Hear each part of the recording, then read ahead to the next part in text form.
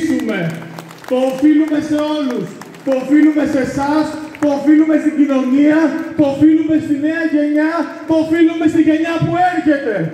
Θα κερδίσουμε. Το έχουμε καθήκον.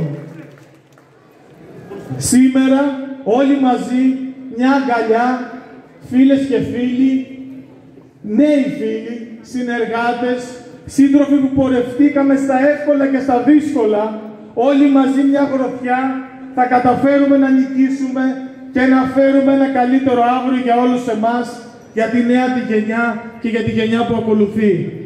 Για μένα σήμερα, αγαπητές φίλες και φίλοι, είναι μια πολύ σημαντική μέρα, γιατί τα εγγένεια του γραφείου σηματοδοτούν και επίσημα την έναρξη του προεκλογικού αγώνα και του αγώνα που θέλω να δώσω για όλο τον κόσμο.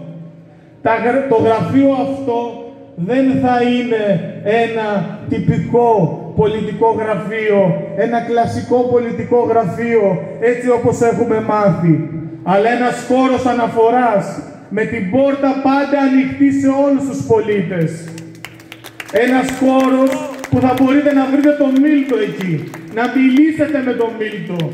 Κυρίως όμως ο Μίλτος να είναι εκεί για να ακούσει τα προβλήματα, να αφουγκραστεί τα προβλήματα των πολιτών, της κοινωνίας, των, κοινωνικών, των κοινωνικών ομάδων και να μπορέσει να δώσει λύση, εφαρμόσιμες λύσεις σε όλα τα προβλήματα. Θα είναι ένας χώρος ζωντανός που θα έχει οργανική σχέση με την κοινωνία της πόλης και τον ομό. Και μέσα σε αυτόν εδώ το χώρο κυρίως όμως έξω, έξω με την κοινωνία, θα αγωνιζόμαστε, θα διεκδικούμε, θα προτείνουμε εφαρμόσιμες λύσεις και θα λύνουμε προβλήματα.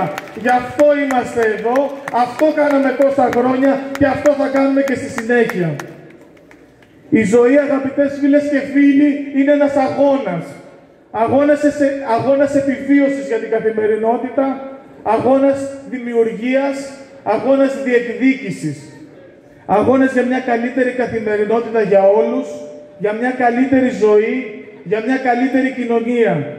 Σε αυτόν τον αγώνα ψάχνεις τρόπο να εκφραστείς, να συμβάλλεις, ώστε να πάνε τα πράγματα λίγο μπροστά, λίγο καλύτερα.